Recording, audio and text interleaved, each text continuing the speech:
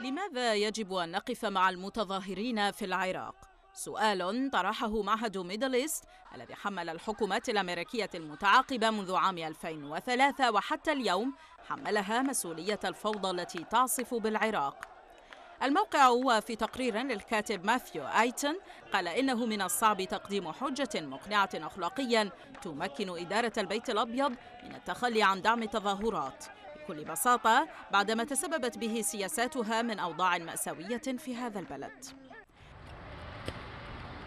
تأزم الأوضاع ويأس العراقيين من إمكانية الإصلاح في ظل النخبة السياسية الحالية. دفعت بسكان وسط وجنوب العراق إلى الخروج في تظاهرات حاشدة ولا تزال ضد فساد الأحزاب الحاكمة. فيما رد رئيس الوزراء حيدر العبادي بإرسال قوات النخبة من مكافحة الإرهاب لسحق الاحتجاجات بقوة الرصاص ليقتل أكثر من عشرين ويصيب المئات فيما يزال مئات آخرون غيرهم يقبعون في الزنازين حيث تعرض العديد منهم للتعذيب وبعضهم توفي على إثر ذلك.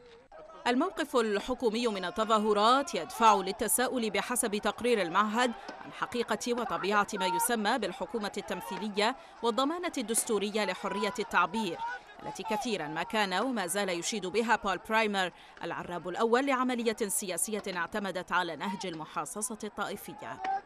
تقرير المعهد يتحدث عن واجبات أخلاقية تلزم الولايات المتحدة والمملكة المتحدة على وجه الخصوص بشأن ضرورة الضغط على العبادي لكبح التجاوزات الوحشية ضد المعارضين له.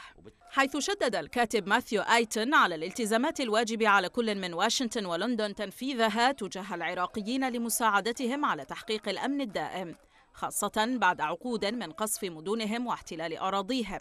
لافتا إلى وجوب الوقوف مع المتظاهرين ومعاقبة الحكومة في بغداد على انتهاكاتها ضد المطالبين بحقوقهم المشروعة.